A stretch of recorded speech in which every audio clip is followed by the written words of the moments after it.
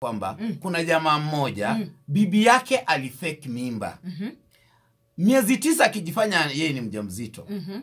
jamaa kumbe alikuwa shajua namwangalia tu mm-hmm. ameweka matambara huku kwa tumbo ati ana mtoto mm-hmm. sasa akaenda akajifungua mm. in quotes mm.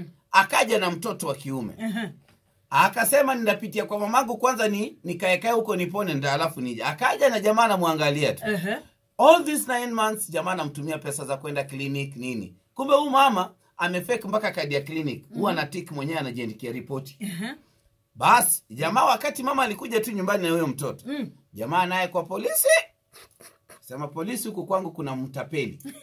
Kuna tapeli kuna mtu muongo alijifanya ana mimba amekuja na mtoto na si wake sijui ameiba wanani kwa hivyo njooni. Sasa hivi napozungumza ni police case. Aliuziwa mtoto 50000 was it so hard? Kwanza i take this position yule dada kwenda kuziwa mtoto 50000 ka- kosa kubwa.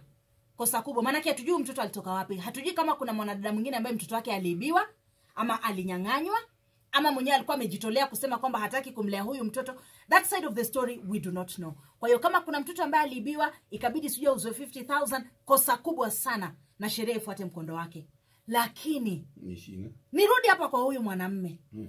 Unampenda mke wako na unajua kwamba mmekwepo kwenye ndoa kwa miaka mitano mkijaribu kutafuta mtoto. This shows you how desperate this lady is.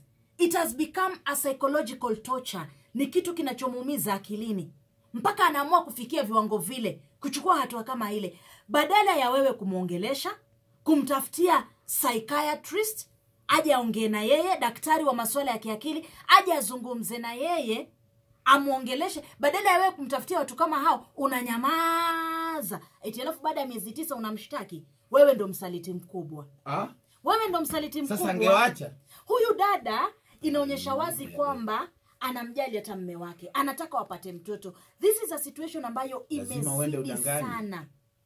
She needed to be cancelled. All this man needed to do ni kumtafutia mtu wa kumwongelesha alifaa kumtafutia So daktari wa msongo wa mawazo. kumshtaki. Alikosea sana. Huu ni mke wako unamshtaki vipi? Huko ndo kumsaliti. Ulifaa kumtafutia daktari